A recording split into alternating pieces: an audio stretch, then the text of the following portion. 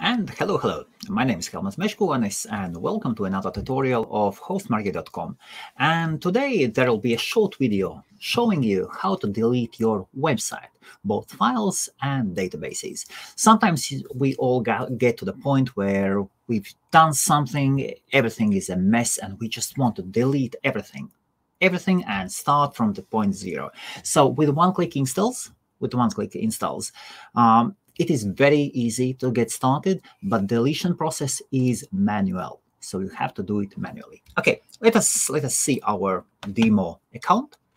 And first of all, we will check the domain names. So we have in our demo account, we have three domain names, domain uh, domain18.info, uh, domain5.net, that is a primary domain name, and the location is public HTML the file location, and domain7.net. All of these are three dummy, three dummy uh, domain names. So let's start with domain5.net. Uh, the files are in public HTML. So what do we do? Let me open a new field. So we are going to File Manager, File Manager. So we so what we are going to do first, we want to delete all eh, like WordPress installation that is put up on the domain5.net. So we are going here. The files are loading. As we remember, yes, the file location is public HTML. Public HTML.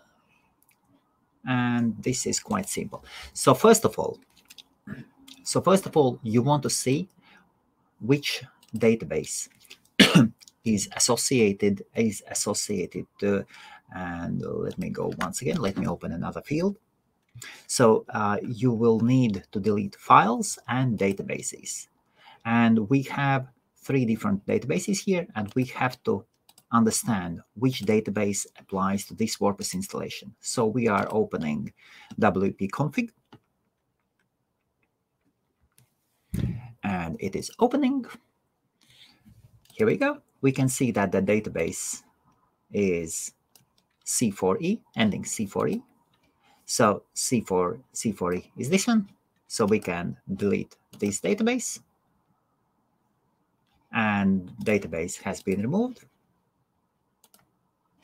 And what we do here, we just select everything. We just select everything. Then on your keyboard, hit delete, delete, and files are being removed now. Excellent. So that's done. Let us say, and let's go to File Manager in the very beginning. And then we have, so then we have another, and then we have another uh, WordPress installation. Let us say we want to remove domain18.info as well. So the folder is domain18. We're going to domain18.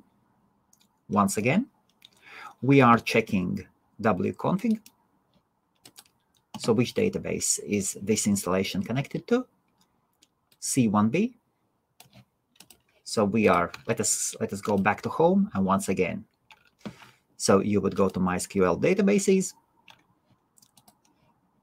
C1b, C1b, remove, remove, database has been removed and you can delete all the files. Don't worry about anything. Just, again, on your keyboard, hit delete and delete it. That's it. That's it. And this this is a database that has been set up earlier. It is it is not connected to any any WordPress installation. It was just a leftover, so I can delete it as well. That's it.